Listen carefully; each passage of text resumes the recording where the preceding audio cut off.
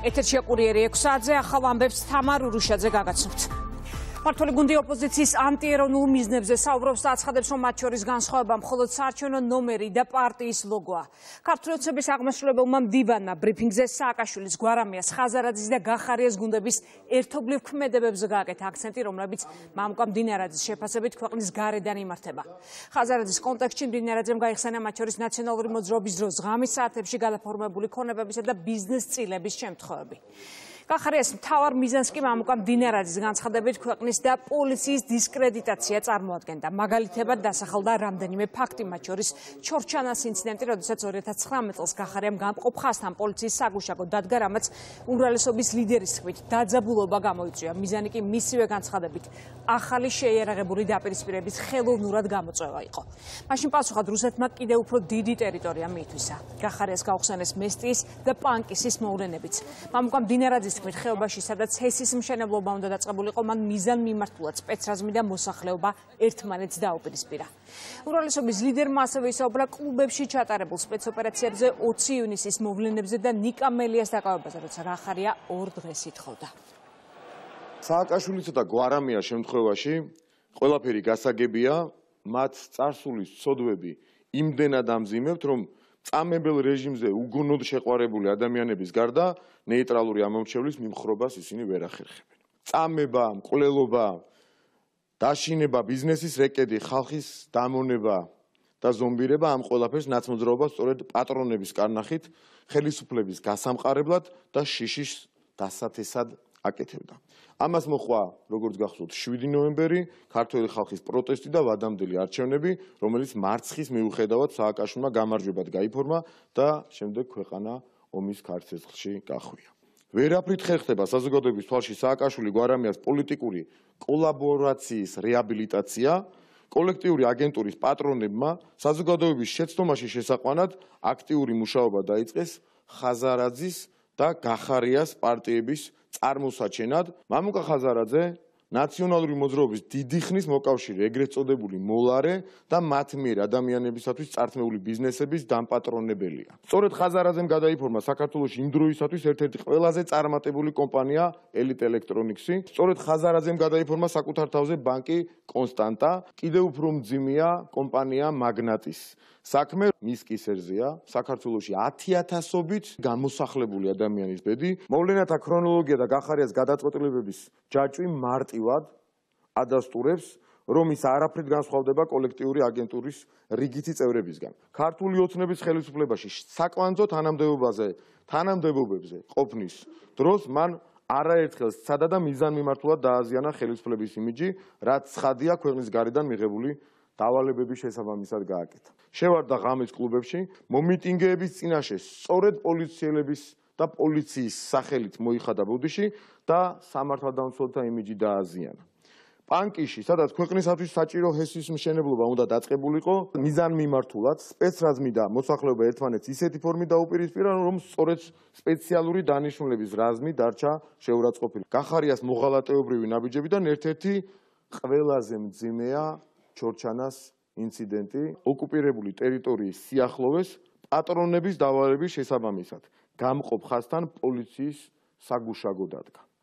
მან ამით გაუგონარი პროვოკაცია მოაწყო, რასაც რუსეთის მხრიდან მოხვა უმძიმესი პასუხი. პროვოკაციის მთავარი მიზანი ახალი შეიარაღებული დაპირისპირების ხელოვნურად გამოწვევა იყო, რომელიც დიდი ალბათობით ფართო მასშტაბიან ომში შესაძლოა გადაზრდილიყო. საკვანძო მომენტი იყო ასევე 20 ივლისის მოვლენებით ცხადია ადამიანს გაუჩნდება შეკითხვა. თუ ამ ყველაფერს ერთი კაცი აშავებდა, როგორ მოხდა რომ შინაგან საქმეთა მინისტრობიდან ის პრემიერ-მინისტრად დაწინაურდა? ეს შეგვიძლია მივიჩნიოთ ჩვენი მხრიდან გახარიას პატრონებთან გადახდილ ერთგვარ ხარკ. ქართულოცების აღმასრულებელი მდივნის განცხადებებს ადრესატების ნაწილმა უპასუხა გიორგი გახარიამ, რომელსაც დღეს ბრიფინგი ჰქონდა, თქვა რომ მის მიმართ გაჟღერებულ ბრალდებებზე პასუხები აქვს, მაგრამ ამ კითხვებს პარლამენტში საგამოძიებო კომისიის შექმნის შემთხვევაში უპასუხებს. მამუკა ხაზარაძე დღეს მედიასთან არ გამოჩენილა, შეფასება მისმა თანაგუნდელებმა გააკეთეს. მართლ გუნჩი კი კიდევ ერთხელ თქვეს, რომ ოთხივე პოლიტიკური სუბიექტი ერთიან ნაციონალურ მოძრაობას წარმოადგენს. ყველა ამ ნაბიჯზე მე ბაგებ სრულად პასუხს. არჩევნების წინ ახლა ნუ ეხებით ამ თემას მომავალში არჩევნების მერე მე შევეხები. შეიქმნას საპარლამენტო კომისია რომელზეც დადგება ყველა ის საკითხი რომელიც ახლა ამათმა ესე ჩამოთვალეს და დარწმუნებული ვარ რომ ამ საპარლამენტო კომისიის ფარგლებში ჩვენი საზოგადოება ძალიან ბევრ საინტერესო მისთვის რამეს გაიგებს ოღონდ არჩევნების შემდგომ ხელისუფლებამ ძალიან კარგად გაიგო რომ ის აგებს 26 ოქტომბრის არჩევნებს. რაც სიმართლეა და რაც ძალიან აშფოთებს ქართულ ოცნებას არის ის რომ დღეს ქართველი ხალხის ნებას გამოხატავს ძლიერი საქართველოს და ოპოზიცია საქართველოს მოქალაქეებს. ვაძლევთ რეალურ შესაძლებლობას რომ არჩევნებში აირჩიონ წარსულის ნამდვილი რეალური ალტერნატივა ერთიანი კოლექტიური ნაცმოძრაობა რომ არსებობს ამაზე არაერთხელ არა მარტო თქმულა არამედ დამტკიცებულა.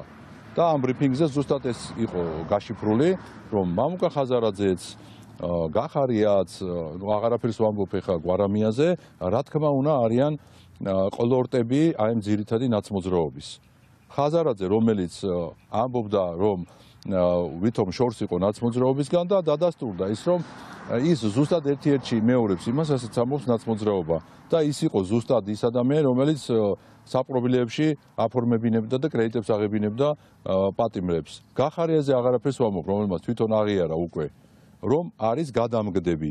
თავისივე გუნდს რო გადააგდებს ადამიანი ეს ცნობილია და ჩვენ თქვით რომ ზუსტად სამი წლის წინ ჩვენ გადაგვაგდო, მთელი გუნდი გადააგდო, ქვეყანა გადააგდო და გადადგა ისეთ მომენტში, როდესაც უნდა პრემიერ-მინისტრი ყოფილიყო მაგალითის მიმცემი და ეს დადასტურდა ზუსტად. ამიტომ ითქვა ამ ბრიფინგზე ზუსტად რომ ხაზარაძეც, გახარიაც, ნუ გასაგებია რომ გვარამიან და მელია, ესენი არიან ასეც ქვიათ ერთიანი ნაციონალური მოძრაობა. არაომს არა აგენტურას სამშინარსის წარწერები და ოპოზიციის ლიდერების ფოტოებია გამოსახული ახალ ბანერებზე, რომლებიც თბილისის ქუჩებში დღეს დილით გამოჩნდა. ქართულ ოცნებაში აცხადებენ, რომ ეს არის პასუხი ნეგატიურ და სიძულვილი სენის შემცველ კამპანიაზე, რომელიც ნაციონალურმა მოძრაობამ წამოიწყო. მართველი გუნდი ამბობს, რომ ეს მათი მხრიდან ფაქტების კონსტატაცია, კრიტიკულია შეფასებები ოპოზიციურ სპექტრში. ეს ბანერები მათ განათავსეს 2018 წელს 2020-ში და ზიზღის კამპანიას თუ ვინმე აწარმოებს თვითონ აწარმოებენ. არაფერი ახალი ამ ბანერებში არ არის. უბრალოდ სასოწარკვეთილ მდგომარეობაში არიან. ამიტომ დარწმუნებული ვართ რომ მათი ემოციური მდგომარეობა კიდევ დამძიმდება და კიდევ უფრო შორს წავლენ, მაგრამ ეს ვერ შეაჩერებს ამ ქვეყნის ევროპულ განვითარებას. ჩვენ ეს არ დაგვიწყია. ყველას კარგად ახსოვს მეც პირადად ჩვენი გუნდის არაერთი ლიდერი. მოვუწოდებდით სადამკვირვებლო ორგანიზაციებს მოვუწოდებდით კოლექტიურ ნაცმოძრაობას რომ შეეწყვიტა ზიზღის და სიზულვილის კამპანია. ჩვენი ბანერების მიზანი არის ფაქტის კონსტატაცია ყოველთვის როდესაც ფაქტ ესე იქნება საუბარი ყოველთვის ფაქტებს ვამხელთ და ყოველთვის დამნაშავე რეჟიმს წამებელ რეჟიმს ნაციონალური მოძრაობის სახით რომლებიც არიან აგენტები პირდაპირ მნიშვნელობით და დავალების შემსრულებლები ყოველთვის ვამხელთ და ყოველთვის ვამხელთ მომავალში. ბოლო 4 წლის განმავლობაში მოიშორე ქოცნება, მოიშორე ბიზინა, სიზღისენით, შეურაცხმყოფელი და პოლარიზაციის გამაღვიებელი და თუ კი რაიმე შეიძლება ნეგატიური ფრაზა ახსენო, ყველას შემცველი ბანერები გამოჩნდა ნაცმოძრაობის მიერ გაკრული ქალაქის ქუჩებში. ჩვენ მაქსიმალურად ვცდილობთ ხედავთ როგორ მშვიდად მიდის კამპანია. კიდევ ერთხელ მოუწოდებ ყველა ჩვენს აქტივისტს აი ამ კითხვის პასუხის ფარგლებში. რომ ნუ მივცემ საშუალებას როგორც ახლა კარგად მივდივართ ნუ მივცემ საშუალებას რომ რაიმე კონფლიქტში შევიდნენ. როცა ჩვენ ლაპარაკობთ იმაზე რომ მხოლოდ ბანერები და ტელეკამერებით გვესაუბრებიან იქ უკვე ზიზღით ზიზღისენით საუბრობენ და ეხლა რინგზე რომ გადის მოჭხუბარი ან მოჭიდავე ტატამზე ან ასე შემდეგ და იქ ერთი მხარე აკრძალულ უხეშ მეთოდებს იყენებდეს. არბიტრი საერთოდ იმის ხარეს იყოს. ამ კონკრეტულ შემთხვევაში სანამ არ დამთავრდება ეს ორთაბრძოლა და შენ წესები ისე დაიცავი რომ უბრალოდ წესების დაცვაშიც კი წესები დაიცავიო ცოტა ოდნავ არასამართლიანი შეიძლება იყოს. ეს ხალხი ზიზღისენას ალაგებს. და მე შენ ისიც კი არ უნდა გამოაკრა. ბანერზე ამბავი აქვს ახლა ატეხილი. როგორ მართავს ვიღაცა გარედან როგორც ბოროტ კლოუნებს. სულ ეს არის როგორ ყავს ესე მობმული საბმელით ვიღაცას? საერთო ერთხელს ეს არის იმ ბანერზე ასახული როგორც ბოროტი კლოუნები და თავის ჭკუაზე ატარებს საქართველოს შესახებ ევროპარლამენტის რეზოლუციას უნგრელი ევროპარლამენტარი აკრიტიკებს. ანდრას ლასლომ ვიდეო მიმართვა გავრცელა და თქვა, რომ მან რეზოლუციას მხარი არ დაუჭირა. პოლიტიკური პარტია ფიდესის წევრი აცხადებს, რომ არჩევნების წინ ევროპარლამენტი და ევროკომისია საქართველოს ზეწოლის მოხდენას ცდილობს. ქართველები მალე არჩევნებზე წავლენ, რომელიც საქართველოსთვის გადამწყვეტი იქნება. ცდილობენ დაიცვან საკუთარი დამოუკიდებლობა და სუვერენიტეტი ძალიან რთულ დროს და რთულ ადგილას. რეგიონალური სუპერსახელმწიფოები ესაზღვრებათ, მათი ტერიტორიების ნაწილი რუსეთის მიერაა ოკუპირებული. ისრაფვიან ევროკავშირის წევრობისკენ. ამ პირობებში ევროპარლამენტი და ევროკომისია ცდილობს საქართველოს ზეწოლა მოახდინოს. საქართველოსთვის რეგიონალური ძალების ჩარევისგან მხარდაჭერის ნაცვლად ევროკავშირი თავად ცდილობს ჩარევას. ეს აბსოლუტურად მიუღებელია. შეუძლებელია. საქართველოს მომავალი ქართველების გადასაწყვეტი უნდა იყოს. უცხოეთის მიერ დაარსებულმა ორგანიზაციებმა რისკის ქვეშ დააყენეს გასული არჩევნების სამართლიანი შედეგები. არჩევნების სამართლიანი შედეგები უპირველესად მნიშვნელოვანია ნებისმიერი ქვეყნისთვის, განსაკუთრებით უცხოური ჩარევის წინააღმდეგ.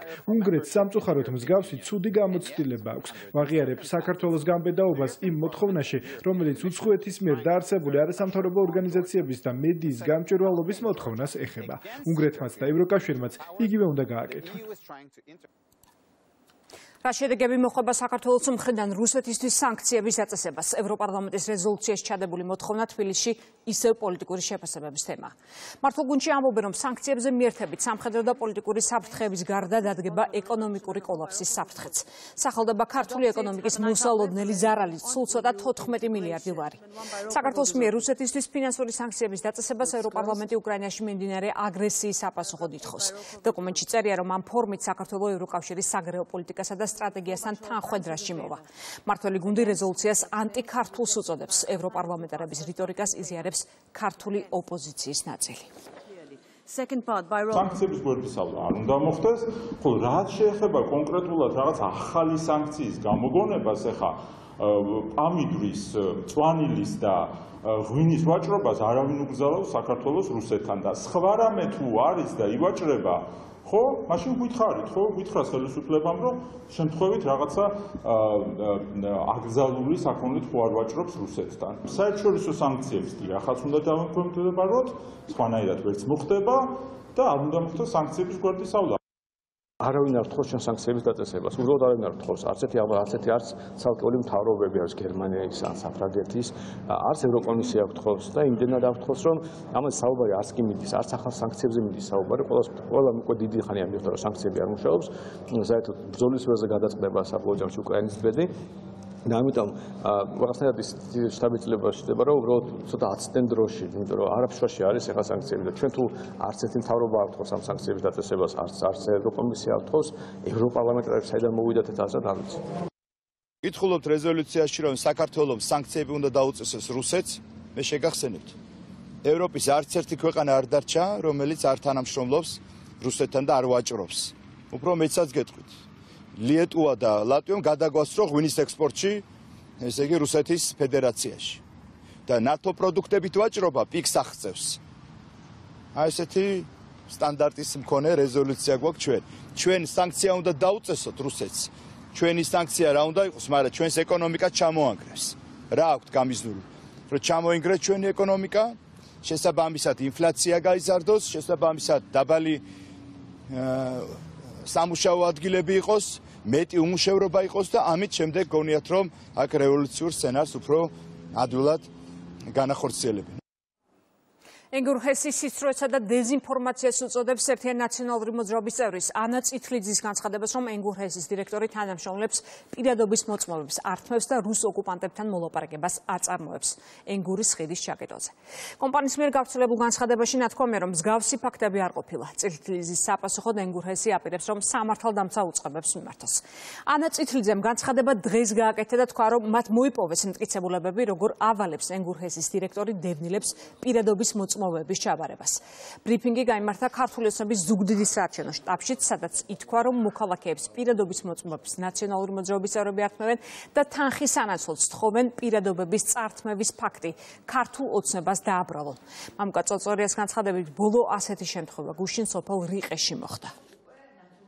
მტკიცებულებები იმისი როგორ ავალებს ლევან მებონია პირადობის მოწმობის ჩამორთმევას ენგურ ჰესის თანამშრომლებს და როგორ საუბრობს იმაზე, რომ ენგურჰესის თანამშრომლებმა მას პირადობის მოწმობები უნდა მიუტანონ, ასევე მტკიცებულებები იმისა, რომ რუს ოკუპანტებთან მოლაპარაკებებს ხიდის ჩაკეტვაზე აწარმოებს ლევან მებონია, უკვე გადავეცით საერთაშორისო ორგანიზაციებს და ყველა სადამკვირვებლო მისიას მოუწოდებ ენგურჰესის თანამშრომლებს, რომ მოგვაწოდონ დამატებითი ინფორმაციები ამ ფაქტთან დაკავშირებით ვასახელებთ კონკრეტულ პირებს, რომლებიც პასპორტების და პირადობების ჩამოთმევის საქმეში არიან ჩართულები. ესენი არიან ENM-ის წევრები: დავით ფიფია, მამუკა გოგია, გაგა ჯალაღონია და დავით ვეპუა. ზოხელ რიყეში ასაკოვან შუნტარ დედასთან მივიდნენ და სწხოვეს რომ 200 ლარის სანაცვლოდ მიეცა მათთვის პირადობა და კამერების წინ დაეფიქსირებინა რომ ეს ქმედება განახორციელა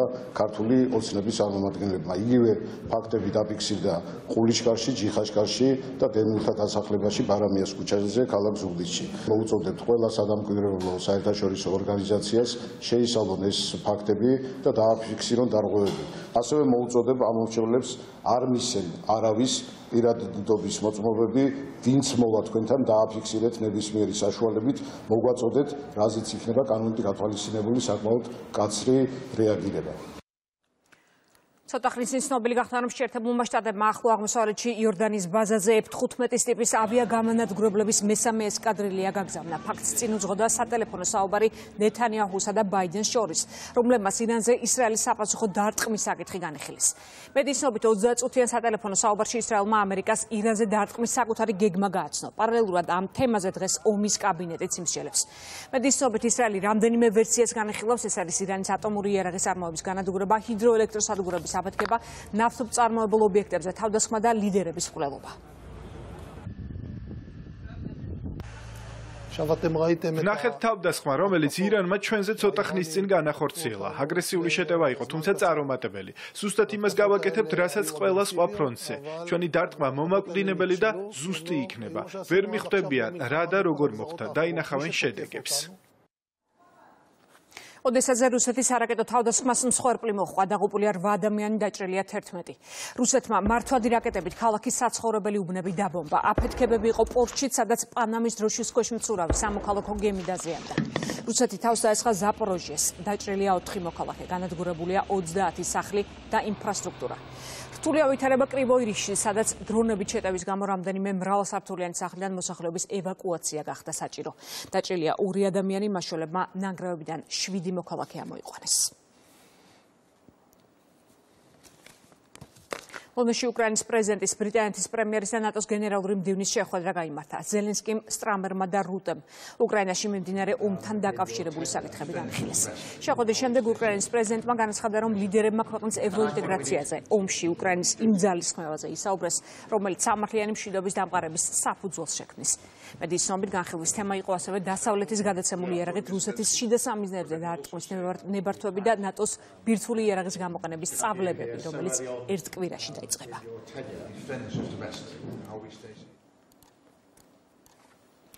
ფლორიდაში ქარიშხალი მძვინვარებს შტატი კატასტროფის ზონად გამოცხადა. დამანგრეველი ტორნადო ღვარცოფული ნაკადი ძლიერი ქარი ტროპიკული წვიმა და წყალდიდობა ვრცელდება ინფორმაცია მსხვერპლის შესახებ. დანგრეულია სახლები, გაჩერებულია ტრანსპორტი, სტიქის ზონაში ყველაფერი დაკეტილია. 2 მილიონი ადამიანი ელექტროენერგიის გარეშეა დარჩენილი. კიდევ ერთი პრობლემა მოქალაქეების ევაკუაცია. მოვლენების ეპიცენტრიდან მათი გაყვანა ვეღარ ხერხდება. თარობა ახლა ხალხს თვით ევაკუაციისკენ მოუწოდებს. ნიუტონს ისევე როგორც ადრე უდიდესი დამანგრებელი ეფექტი აქვს. დასახლებული პუნქტების სრულად განადგურება შეუძლია, ასევე ადამიანური მსხვერპლის გამოწვევა. ამიტომ მოვუწოდებ ყველას, ვინც ამ ქარიშხლის ზონაში იმყოფება, გაითვალისწინეთ ადგილობრივი მთავრობის მოწოდებები და იხელმძღვანელეთ უსაფრთხოების ინსტრუქციებით. როგორც ჩანს, ამ ეტაპზე ევაკუაცია ფერხდება, ამიტომ მოვუწოდებ მოსახლეობას, ეძებეთ უსაფრთხო თავშესაფარი. ხშირად რამდენიმე მილით გადაადგილება სიკვდილ სიცოცხლის საკითხია. few miles დიდი ოდენობით თანხის გამოძალვაში ჯგუფურა დახმარების და სხვისი ნივთის დაზიანების მცდელობის ფაქტებზე პოლიციამ სამი პირი დააკავა. გამოძიების ინფორმაციით ბრალდებულებმა სხვადასხვა დროს საზღვარგარეთ ცხოვრები ეგრეთ წოდებული კრიმინალური ავტორიტეტის დავალებით მარნეულის მუნიციპალიტეტში მოქალაქეებს დიდი ოდენობით თანხის გადახდა მოსთხოვეს. ემუქრებოდნენ სიცოცხლის მოსპობით და ქონების განადგურებით. უარის შემდეგ ერთ-ერთმა ბრალდებულმა დაზარალებული სახლის ეზოში მოლოტოვის კოქტეილი ისროლა. კიდევ ერთი პირის ეზოში კი მუქარის წერილი და სამი ვაზნა გადააგდეს. ონში საგანგებო სიტუაციების მართვის სამსახურის ახალი შენობა გაიხსნა. ის თანამედროვე სტანდარტებით აშენდა. თანამშრომლებისთვის მოწყობილია სამუშაო და მოსასვენებელი ოთახები, სპეციალური სავარჯიშო სივრცე, სასწავლო ოთახი და სპორტული დარბაზი. შენობაში განთავსდა ოპერატიული მართვის ცენტრიც. შინაგან საქმეთა სამინისტროს საგანგებო სიტუაციების მართვის სამსახური განაგზობს ინფრასტრუქტურის განახლებას. დღეს რაჭაში კერძოდ ონში გაიხსნა ახალი სახანძრო სამაშველო ძალების შენობა. შენობა აღჭურვილია ყველა შესაბამისი საჭირო ინვენტარით თუ სპეციალური მოწყობილობებით შენობაში განთავსებულია მართვის ცენტრი, განთავსებულია სავარჯიშო დარბაზების და ყველა ის საჭიროებები, რაც მეხანძრე მაშველს ესაჭიროება როგორც სამუშაო გარემოსთვის, ასევე მოსასვენებლად. აქ ყველა პირობა არის იმისთვის შექმნილი, რომ თანამშრომლება ჩვენმა გმირმა მეხანძრე მაშველებმა აიმაღლონ სამუშაო დონე, კვალიფიკაცია და ნამდვილად იმსახურებენ ისინი ესეთ სამუშაო პირობებს. 2024 წლის 9 თვეში მგზავრთნაკადი ქვეყანაში 26%-ით გაიზარდა. საქართველოს სამოქალაქო ავიაციის სააგენტოს მონაცემებით 2024 წლის იანვრიდან სექტემბრამდე საქართველოს აეროპორტები 5 მილიონ 687000 მგზავრს მომსახურა. 2024 წლის 1 ოქტომბრის მდგომარეობით საქართველოს აეროპორტებში 53 ავიაკომპანია 104 საჰაერო ხაზზე ოპერირებს. ცხათვის განმავლობაში ჯამში 24348 ავიარეისი შესრულდა. საქართველოს აეროპორტები ჯამში 9 თვის განმავლობაში მოემსახურა 5 მილიონი 686.000 გზავრს, რაც გასული წლის ანალოგიური პერიოდთან შედარებით 26%-ით მეტია. ასევე აღსანიშნია, რომ 2024 წლის 1 ოქტომბრის მდგომარეობით საქართველოს აეროპორტებში 53 ავიაკომპანია 104 საჰაერო ხაზზე ოპერირებს და აქვე 10 ავიაკომპანიას მიეცა ფრენის ნებართვა. აღსანიშნავია ისიც, რომ 30 თბილისის საერთაშორისო აეროპორტში გვაქვს 31%-იანი, 6%-იანი ზრდა და ქუთაისის საერთაშორისო აეროპორტში, ხოლო 53%-იანი ზრდა აღინიშნა ბათუმის საერთაშორისო აეროპორტში. ასევე გაზრდილია ტვირთბუნ-ატყევანდელი მონაცემებით 53 ავიაკომპანია ოპერირებს საქართველოს აეროპორტებში. თბილისში არბიტრაჟის დღეები გაიხსნა ღონისძიებაში 200-მდე საერთაშორისო და ადგილობრივი არბიტრი, იურისტი და ექსპერტი მონაწილეობს. ორი დღის განმავლობაში გამართება პანელური დისკუსიები და სოციალური ღონისძიებები. მხარეები ერთმანეთს გამოცდილებას გაუზიარებენ. არბიტრაჟის დღეები სავაჭრო პალატის და საერთაშორისო საარბიტრაჟო ცენტრის ორგანიზებით წელს უკვე მე-11-ად ტარდება. მთლიანად არის ჩართული. ვცდილობთ რომ რაც შეიძლება მეტი უცხოელი მოვიზიდოთ, უფრო ავწიოთ ასე ვთქვათ ცნობადობა ჩვენს რეგიონში. საქართველოს მთავრობა და იუსტიციის სამინისტრო არის ამ ღონისძიების და ზოგადად საქართველოსში არბიტრაჟის ინსტიტუტის განვითარების დიდი მხარდამჭერი, რამდენადაც ჩვენ ამას უყურებთ როგორც ჩვენს ქვეყანაში ინვესტიციებისთვის და ბიზნესის კეთებისთვის ხელშემწყობ ერთ-ერთ ძალიან მნიშვნელოვან გარემოებას. მნიშვნელოვანი და საინტერესო საკითხები გვაქვს, მათ შორის ისეთი საკითხები როგორც არის ღირებულება დავის ღირებულებები როგორ შევამცაროთ ხარჯები არბიტრაჟში ასევე შეიძლება ვთქვათ წარმომადგენლობის როლი ბიზნესში და იურისტების როლი ბიზნესში არბიტრაჟის დროს და დავების გადაწყვეტის დროს ბათუმის დრამატულ თეატრში მოსწავლეები დააჯილდოეს. ახალგაზრდებს განათლების მინისტრმა და აჭარის მთავრობის თავმჯდომარემ კომპიუტერები გადაცეს. 2024 წელს აჭარის რეგიონში 396 წარჩინებული მოსწავლე აქედან 180 ბათუმის სკოლებში სწავლობს. განათლების სამინისტროს სპეციალური პროგრამის ფარგლებში წელს 5000-მდე მოსწავლე დაჯილდოვდება. დღეს შევხვდით აჭარის წარჩინებულ მოსწავლეებს, დავაჯილდოვეთ ისინი, გადავეცით მას შესაბამისი წამახალისებელი საჩუქრები და დარწმუნებული ვარ, ეს იქნება დამატებითი სტიმული ჩვენი ახალგაზრდებისთვის, რომ კიდევ უფრო მეტი წარჩინება, კიდევ უფრო მეტი აკადემიური მოსწრება გქონდეთ და რა თქმა უნდა ჩვენ მომავალშიც გავაგრძელებთ როგორც განათლების ფარდაჭერას, ასევე განსაკუთრებით ჩვენი მოსწავლეების ფარდაჭერას და წახალისებას. საქართველოს მასშტაბით აღნიშნული პროექტის ფარგლებში დაგეგმილი 5000 მოსწავლის დაჯილდოვება ჩვენ რა თქმა უნდა ჩვენი სამინისტრო და ხელისუფლება ყველაფერს გააკეთებს რომ ნიჭიერ ახალგაზრდა მომავალ თაობას ხელი შეეწყოს და იყვნენ ახალისებულები სახელმწიფოს მიერ. ჩვენი ახალგაზრდების გორდით დგომა დამატებით მხარდამჭერი პროექტების შეთავაზება ნამდვილად არის კონკრეტულ შედეგზე გათვლილი და მინდა აღვნიშნო რომ ჩვენ გავაგრძელებთ შემდგომშიც არაერთი პროექტის დაგეგმვას საქართველოს განათლების მეცნიერების და ახალგაზრდობის სამინისტროსთან თვითმმართველობებთან ერთად ჯანმოს ექსპერტები აფხაზეთის ჯანდაცვის მინისტრს შეხვდნენ. თავარი თემა იყო საქართველოსთვის მალარიისგან თავისუფალი ქვეყნის სტატუსის მინიჭება. ყურადღება გამახვილდა ამ მიმართულებით ოკუპირებულ აფხაზეთში არსებულ ვითარებაზე და პროცესში საერთაშორისო პრაქტიკის გამოყენების მნიშვნელობაზე. ვისაუბრეთ აფხაზეთის ტერიტორიაზე ადგილობრივი მალარიის გავრცელების საკითხებთან დაკავშირებით. ვიმედოვნებთ, რომ ერთობლივი საქმიანობა აქტიურად გაგრძელდება, რადგან ჩვენ ჭირდება საერთაშორისო გამოცდილება. ჩვენ ყავს მისიაზე ჯანდაცვისოფლიო ორგანიზაციის დამოუკიდებელი ექსპერტები ჩამოსულები საქართველოში, რომლებიც აფასებენ ამ მდგომარეობას მალარიასთან მიმართებაში. დავდივართ სხვადასხვა რეგიონში, სხვადასხვა სამსახურებში, სამინისტროებში, მათგან იღებენ ინფორმაციას, აა რა მდგომარეობა გვაქვს მალარიასთან დაკავშირებით, რამდენად ვართ მზად ქვეყანა მთლიანად, რომ მივიღოთ ეს სტატუსი.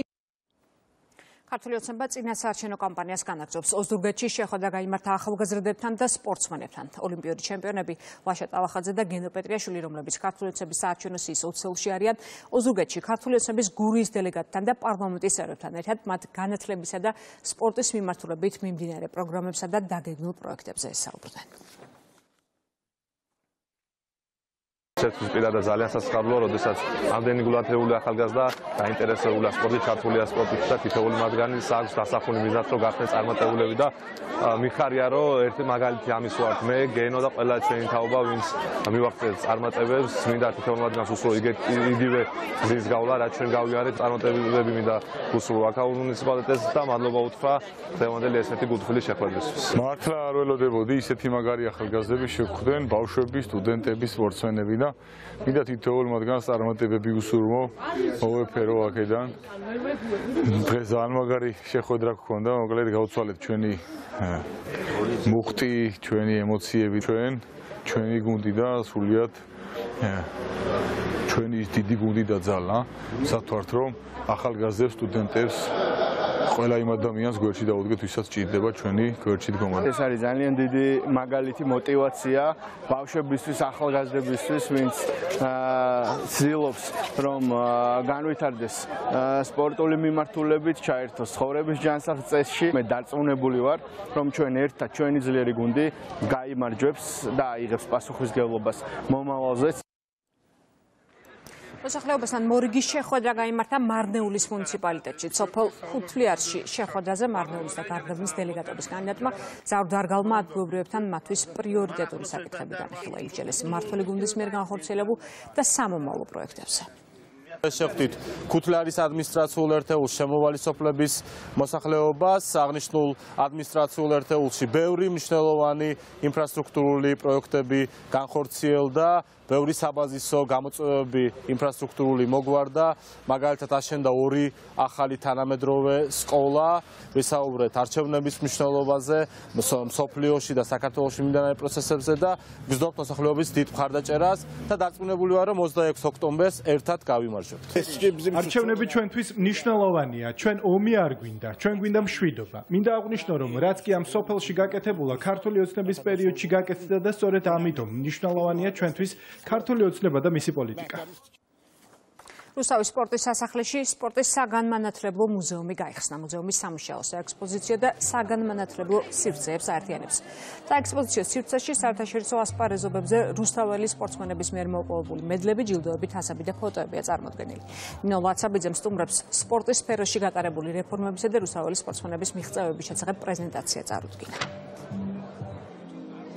ძალიან ამაღელვებელია, როდესაც ძალიან ბევრ სპორტსმენს მე პირადად არ ვიცნობდი და აღმოვაჩინე აქ. და ყველა სპორტსმენს დიდი მადლობა მინდა გადაუხადო რუსთავის სახელით მონაწილეობისთვის და იმ ქართული დროშის აფრიალებისთვის, რომელიც ჩვენთვის ყველაზე საამაყოა თვითმართველობის გადაწყვეტილებით, გადადგმული სწორი ნაბიჯებით დღეს მნიშვნელოვანი და კარგი ღონისძიება არის, რომელსაც ქვია ჩვენი მუზეუმის გახსნა, სადაც განსთავსდა ის ისტორიული სურათები. რუსთავის მერიის გუნდმა ჩვენ სპორტსმენებთან ერთად, ჩვენს მთავრობასთან ერთად გავხსენით უნიკალური სივრცე, რომელიც აერთიანებს როგორც სპორტის მუზეუმს და დღეიდან შეგვიძლია ვთქვათ, რომ არც ერთი რუსთაველი სპორტსმენის სახელი არ მიეცემა დავიწყებას. აერთიანებს მედიათეკას, სივრცე, სადაც ახალგაზრდებს სპორტის მიმართულებით შეუძლიათ მიიღონ კიდევ უფრო მეტი განათლება. წალენჯიხაში სახალხო დღესასწაული ტერენტობა იმართება. მაცხოვრის ფერისოლების ტაძარში ქართული პოეტის სულის მოსახსენებელი პარაკლისი აღავლინეს. მოგვიანებით ქალაქში სხვადასხვა ღონისძიება მიმდინარეობს. დღესასწაულთან დაკავშირებით წალენჯიხაში საპარლამენტო უმრავლესობის წევრი ირაკლი ზარქუა იმყოფებოდა. დღეს იმყოფებით წალენჯიხაში ფერიცვალების ამოძველეს ტაძარში, რომელიც ჩვენი სიამაყე არ მხოლოდ წალენჯიხელების, არამედ სრულად საქართველოს დღეს აღნიშნავთ ტერენტი გრანელობას. ეს ისე თქვენ რომ განსაკუთრებული ხასიათის განსაკუთრებული ცნობიერების მიდგომის და განსაკუთრებული ღირებულებების ადამიანი იყო. წალენჯი ხელი უნდა ითქვას თამამად რომ ტერენტი გრანელი ეს იყო ალბათ მთელი ქვეყნის სიმდიდრე. ეს 6 საათზე რეკლამის შემდეგ პირდაპირ ეთერში ბრუნდებით საქართველოს ეროვნული არქივი მეცხრე საერთაშორისო კონფერენციას მასპინძლობს. ღონისძიებაში ევროსამდე ქართველი და უცხოელი მეცნიერი მონაწილეობს. ბიძანი ახალი სამეცნიერო კვლევების ახალისება და გამოცდილების გაზიარება. დღევანდელ კონფერენციაში, რომელიც ორ დღეს გაგრძელდება, 200-მდე მომხსენებელი იღებს მონაწილეობას, წარმატებას ვუსურვებ მათ და დარწმუნებული ვარ, რომ ეს კონფერენცია მომავალშიც, მომდევნო წლებშიც წარმატებით გაგრძელდება. არაჩვეულებრივი გამოვიდა დღევანდელი კონფერენცია, არა მხოლოდ სიმრავლით მომხსენებლების, არამედ ხარისხით მონაწილეობას იღებს დაახლოებით 20-მდე ქვეყნის სხვადასხვა წარმომადგენელი და უამრავი სამეცნიერო ქართული კვლევითი დაწესებულებიდან. სასულიერო პარაგრაფში საქართველოს ტრანსპლანტოლოგთა საზოგადოების პირველი სამეცნიერო კონფერენცია გაიხსნა. აღონიზებაზე დასასწრება თბილისში სპეციალურად ჩამოვიდნენ სოფლიოს წამყვანი ქირურგები და ტრანსპლანტოლოგები. ლექციებს 22 სხვადასხვა ქვეყნიდან მოწვეული პროფესორი კითხულობს. თავარი თემა ღვიძლის ტრანსპლანტაციაა. ღვიძლის ტრანსპლანტაცია კი რომელიც ყველაზე რთულ ქირურგიულ ჩარეულად ითვლება და რომელსაც სახელმწიფო აფინანსებს საქართველოში უკვე რამდენიმე წელია ტარდება. მას ქვეყნის მასშტაბით მხოლოდ ორი ქართველი ტრანსპლანტოლოგი ატარებს. კობაშანავასა და კახა ქაშიბაძის ხელმძღვანელობით საქართველოში ღვიძლის ტრანსპლანტაცია ოპერაციის უკვე 160-ზე მეტი ოპერაციაა ჩატარებული.